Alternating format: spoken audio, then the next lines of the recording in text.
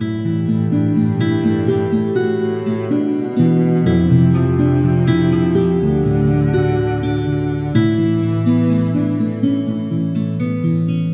Hey guys, welcome back to another YouTube video here with Earthworks where we are going to do a complete makeover. We've got an awesome project here in store for you guys. Uh, new homeowners that just moved into a Queens Harbor neighborhood here in Jacksonville, Florida. They're going to modernize it. So you can kind of see with some of the fixtures they've got in their house now um, that they are a little bit more clean, contemporary, and the yard just does not fit. Well, number one, it's, it's missing a lot of material. That's because the homeowners took it out.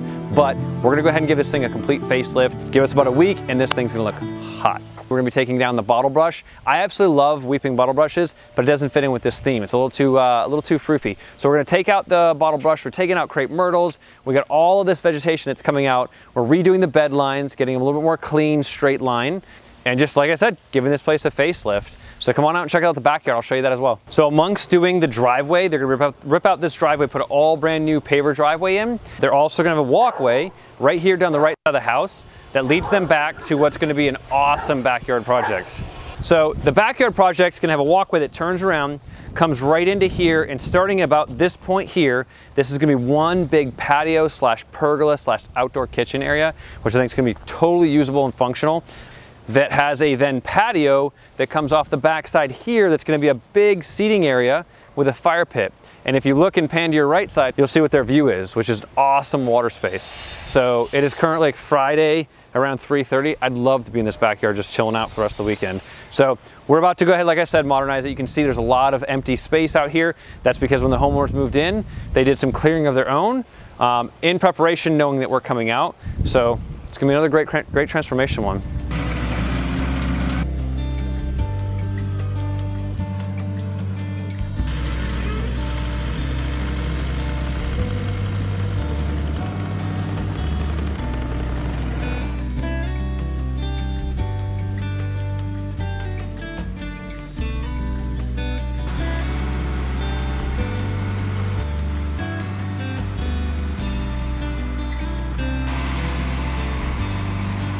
You guys have seen the opening, you guys have seen some of this progress going on. You'll notice I'm wearing a sweatshirt. I'm pretty sure when we first started this was about probably three to four months ago. I just wanted to talk about how amazing the vision of Jamie Kahn's look for this home turned out to be. When I first saw it, it was just a red brick home. And she saw something completely different. Her and her husband saw this. They saw this as being a much more contemporary home. And I think they've achieved that. So they went ahead and they painted, they put all brand new shutters on the house. So now they've gotten this very clean look. We're just the icing on the top. So we did our best. And in a lot of situations, you guys out there that are more on the contemporary side, I hope this video helps seeing some of this, and then you guys can pick our brains. That's, that's exactly what we're here for. But we ran into a couple complications with what the homeowner wants to do and what the HOA allows. So the HOA out here allows, doesn't allow as much flexibility. They want a very native look. Um, and that's actually a cool thing. I love that. It's a cool concept. So you just got to get creative with it.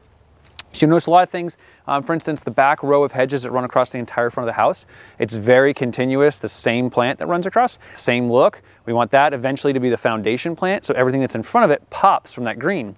Because anything with landscaping, the White House looks amazing, but with anything landscaping can get lost against that white house. So now we have this green canvas of plants, which are called Walters viburnum.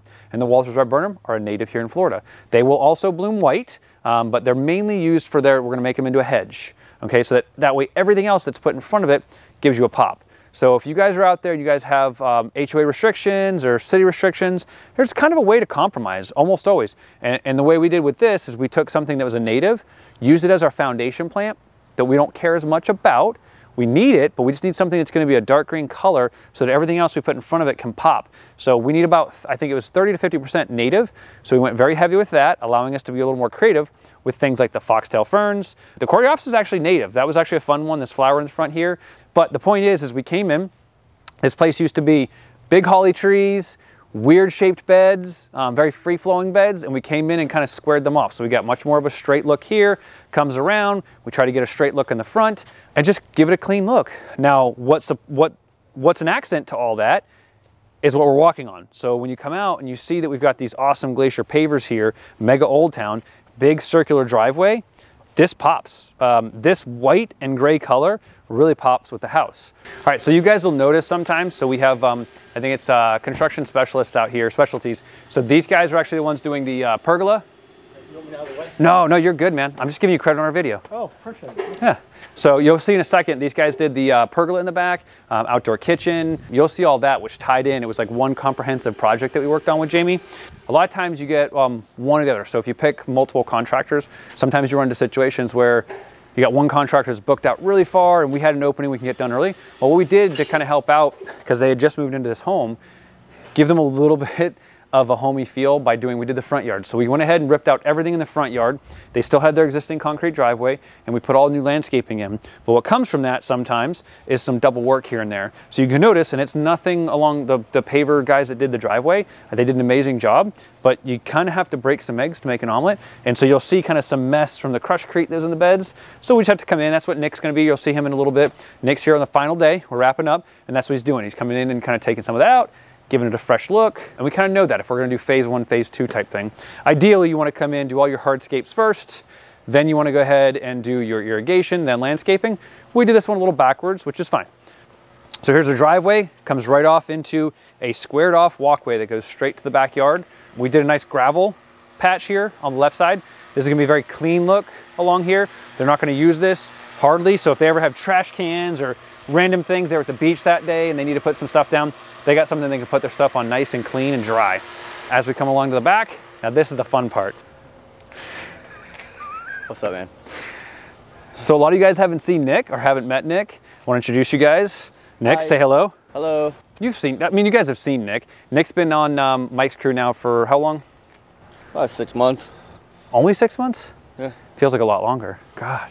But Nick here, Nick here's been training under Mike um, along with Mark. And what we've done is um, Nick here has got an opportunity to kind of split off. And Nick's going to be doing a split between landscaping and water features. It's been trained by the best for a long time now. And these guys are going to, you're going to start seeing them kicking butt on landscape projects. And you also see them on some of our smaller water features like the Tadpole, Frog Hollow, mm -hmm. Stack Slate Urns, all that fun stuff. Water bowls, where you guys can think up, we can build. So they already had the existing pool and screen enclosure but it's all been modified and been brought up. So these guys went ahead and did the pavers on the inside of the screen, pavers on the outside, and this whole awesome, amazing outdoor kitchen. So they had to redo the entire screen. They got two new doors, and then check this out. So this, this is all one panel without support, all the way to this point. You might, to appreciate this, you may have to actually be in there looking out because I'm sorry, you bought this property, you got this awesome view looking out at the water, you want to see it. You don't want to see a bunch of these support posts. So this is really cool. They do like an engineered um, support beam here that allows you to do that span because typically you would have two more posts. You'd have a post right about here and a post right about here.